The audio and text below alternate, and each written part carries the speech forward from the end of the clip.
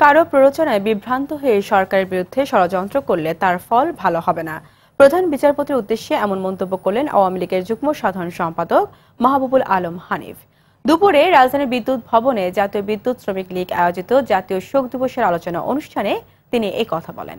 ষোড়শ সংশোধনী বাতিলের রায়ের মধ্য দিয়ে বিএনপি একটি অবৈধ দল হিসেবে প্রমাণিত হয়েছে বলে মন্তব্য করেন হানিফ।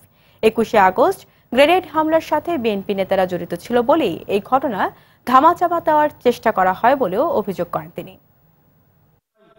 তার মুখপাত্র হিসাবে তার স্বার্থ রক্ষার জন্য আপনি একের পর এক এই ধরনের কর্মকাণ্ড করে যাচ্ছেন, বক্তব্য দিয়ে যাচ্ছেন আমরা যাই না।